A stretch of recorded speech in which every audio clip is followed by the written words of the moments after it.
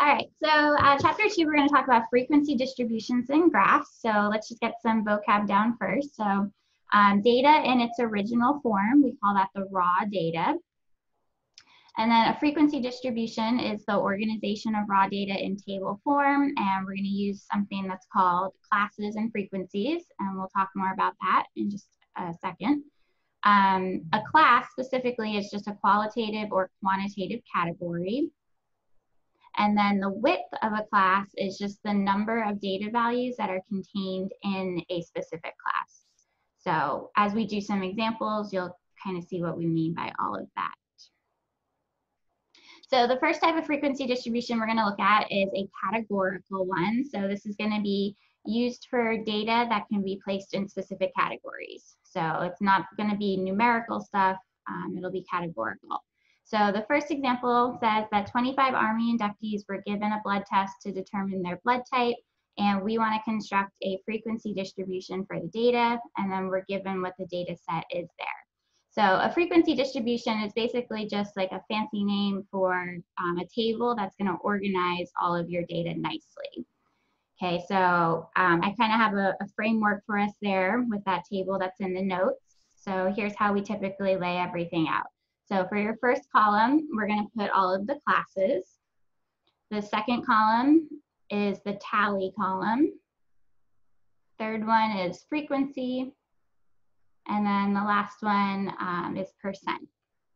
So your classes are just going to be all of the categories from your data.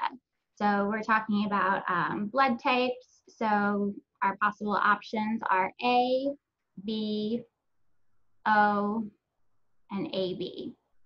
So just whatever categories are in your data, those are going to be your classes.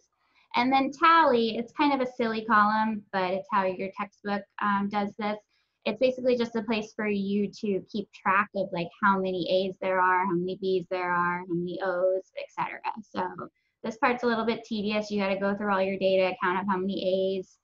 So I'll just tell you what they are. Um, you get five A's, seven B's, uh, nine O's, and four AB. Okay, and then frequency is just where you're actually to put what the tally number was. So for frequency, we'll say five, seven, nine, and four. Okay, and then um, one way that you can check whether or not you actually got all of the data values and you didn't skip any is to add up those total frequencies. So if you add five, seven, nine, and four, you do get 25, which was how many um, how many Army inductees uh, were determine their blood type. So we did catch all of them. So we didn't miss any, so that's good. And then the percent column is where we're gonna state like what percent of the total had type A and whatnot. So for percent, um, the formula is the frequency for that class or category divided by n, which is just going to be the total number in your sample, times 100. So N is 25 in this example, because there were 25 Army inductees. So for class A, you would take the 5, which is the frequency for that class, divide it by 25, and then times it by 100. And when you do that, you get 20. So 20% had type A blood. And then you're just going to do that for all of the classes. So for B, you would do 7 divided by 25 times 100. That comes out to be 28. And then I didn't show my work for the other ones. I think you can figure it out. Um, you would do 9 divided by 25 times 100. That comes out to be 36. And then last one would be 4 divided by 25 times 100. And that comes out to be 16. Now, if we were to add up the percent column, what do you think that all of those percents should add up to? Uh, 100%. 100%, yep. And sure enough, if you add 20, 28, 36, and 16, you do get 100%. So if it were, you know, very far off from 100, that would tell you that you probably did something wrong with your math over to the side there. And that's it. That's a um, categorical frequency distribution.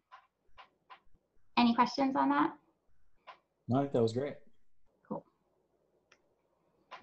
Okay, so before we get into um, the numerical ones, we're gonna look at a couple different ones.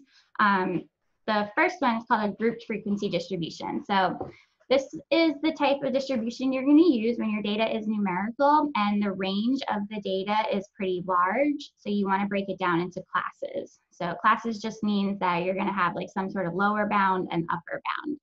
So when we talk about this stuff, we do want to know like the names of everything. Um, so the lower class limit, when we say that, we're just referring to the smaller number in all of the classes. So examples of lower class limits using that table there would be like 58, 65, 72, etc. So it's just the smaller number in the class limit. And then upper class limit is just going to be the larger number. So 64, 71, 78, 85, and so on. Okay, now just some properties about some of this stuff. So class boundaries, you'll notice that um, this range of numbers, there's no gap between them. So the upper class limit on this first row is 64.5. That's gonna match exactly the lower, um, oh, I should, should have said class boundary. Upper class boundary is gonna match the lower class boundary on the next class. So there's no gap between those class boundaries. Um, class boundaries also have the property that they have one more decimal place than the class limits. So if your class limits are whole numbers, then the class boundaries are gonna have one decimal place. And to find class boundaries, if they're whole numbers, all you do is subtract or add um, 0.5 to either the lower or the upper class limit. And we're gonna do an example, uh, so we'll actually practice all of this. Um, but the class width is found by doing the upper class boundary minus the lower class boundary. So it's just basically telling you, telling you how wide that class is. So um, you can use any class that you want to figure this out. Uh, if we just use the first row there, you would take 64.5 minus 57.5. That comes out to be 7. So it tells you that the class width is equal to 7. And you'll get the same answer regardless of whichever row you use.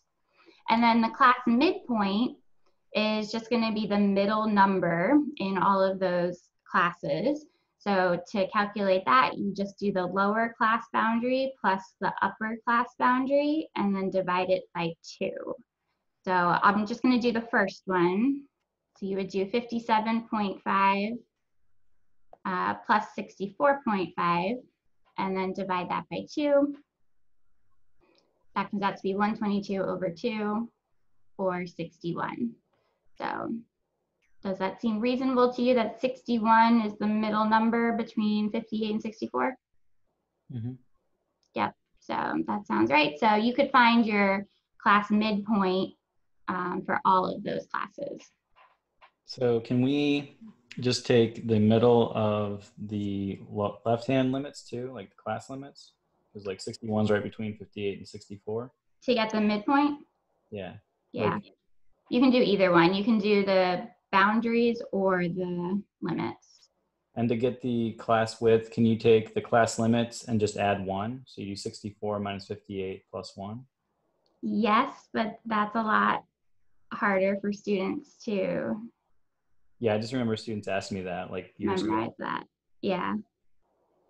Yeah, because basically, like you're counting how many numbers there are from 58 to 64. Mm-hmm. But if you just do 64 minus 58, you get six. You get six. When if you count on your fingers, 58 through 64, there's actually seven numbers. Great. But you avoid that common mistake if you use the class boundaries. So if you do that one minus that one, you do just get seven. Right. Okay, so let's do an example. We're actually going to build one of these tables. Um, oh, before we do that, some rules for constructing a frequency distribution. Um, these first two are not very strict rules. They're kind of just preferences. Um, there should be between five and 20 classes in your table. Anything more than that, your table is just not going to be um, very readable. And then it's preferred that the class width be an odd number. Okay, so those are just preferences really. The rules are three through six. So the classes must be mutually exclusive. So that just means that they can't overlap in any way. Um, the classes must be continuous. So there's no gaps allowed between the classes. So even if a class has a frequency of zero, you still have to include it in your table. Uh, Phi says that the classes must be exhaustive, which just means that it accommodates all the data.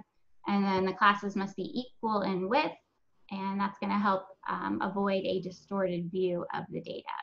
So you always want to keep those four things in mind when you're doing your table. Okay, and then I have the steps for you there in the notes for how you actually construct one of these. So we'll just follow those steps as we go throughout the first example. Okay, so example two says that um, the data represents the record high temperatures in degrees Fahrenheit for each of the 50 states. Construct a grouped frequency distribution for the data using seven classes. Okay, so the first step, I'm gonna read them from the notes. Um, step one says to find the highest and lowest values. So you're just gonna look through all of your data values, jot down what the largest number is and what the smallest number is. So 134 is the largest number there. Um, can you find the smallest one?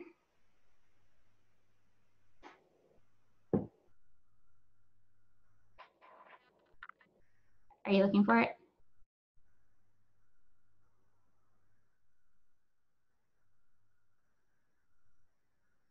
Uh-oh, I think I lost Dr. Insko. Okay, I'm just gonna keep going. So the smallest one is 100. That's the lowest number there. And um, the next piece of step one says to find the range. So the range is just gonna be the highest number minus the lowest number. So you'll do 134 minus 100, and that comes out to be 34.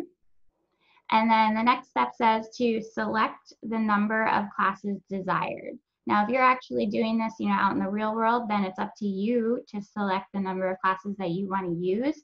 However, because we all want to get the same um, the same answer in a classroom setting, the question is always going to tell you how many classes to use.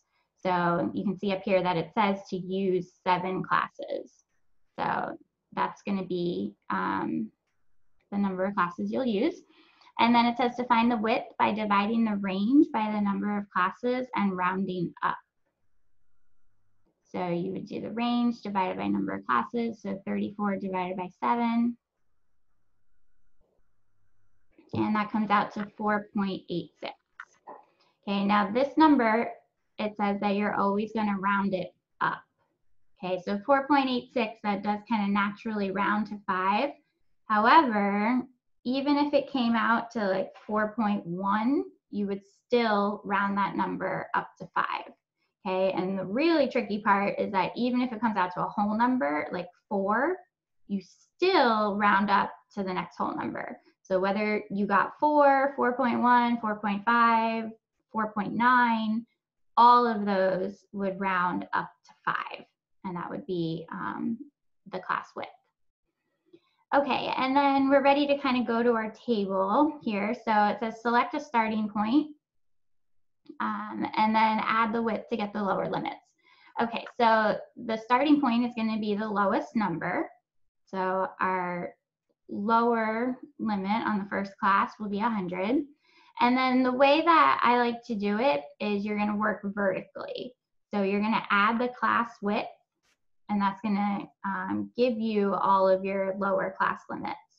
So 100 plus 5 is 105. Add 5 again, you get 110. Add 5 again, you get 115, 120, 125, and 130. Okay, and then now we want to go do um, the upper class limits. So the way that I usually do it is I look like at this second number here. So if that's 105, then that means the number before it just needs to be, you know, one number before. So from 105, that means that one has to be 104. And then you can just keep going like that. So like 110, the number before is 109. Or the other way to do it is just to add five vertically down um, all of those upper class limits. Either way, you're going to get the same values. So you'll get 114, 119, 124, 129, and 134. And then for your class boundaries, I'm just gonna move me here. Um, your class boundaries, you just basically wanna um, subtract 0.5 from your lower class limit and then add 0.5 to your upper class limit. Oh, and something to point out, um, on this example, the largest upper class limit comes out to be 134, which just so happens to be the highest number in that data set. However, that does not normally happen, and that's totally okay if it doesn't happen. Typically, um, you'll get a number that's larger than the largest number, and that's okay. That's fine. Okay, so back to class boundaries. So you just want to subtract 0.5 from your lower limit. So 100 minus 0.5 is 99.5, and then you're going to add 0.5 to your upper limit. So 104 plus 0.5 is 104.5. And then you're just going to do that for all of them. So you'll get um, 104.5 and 109.5, and then so on. So 109.5 to 114.5, 114.5 to 119.5, 119.5 to 124.5, 124.5 to 129.5, and 129.5 to 134.5. Okay, and then your tally column, again, this is, you know, kind of just for you to help keep track as you're um, going through all the data. So you want to go through and find how many numbers are between these um, class boundaries. So from 99.5 to 104.5, you go look through all your data. I'll just tell you what that is. Um, you'll be able to find two numbers there. Um, between 104.5 and 109.5, you can find eight numbers and then so on. So I normally hate filling out that tally column because for frequency, you're just gonna put the actual value there. So I'll just tell you what all the frequencies are. Um, you get two, eight, 18, 13, seven, one, and one. And that is your um, grouped frequency distribution. So it kind of seems like a lot of steps or a lot of work at first, but they're all relatively easy steps. So you just kind of have to practice it a few times um, and then it's really no big deal. And if you want to check um, whether you, you know, missed any data values, you could just add up that frequency column and it should come, out to be um, whatever the total number of data points was in your set. So we do have 50 there, which is good.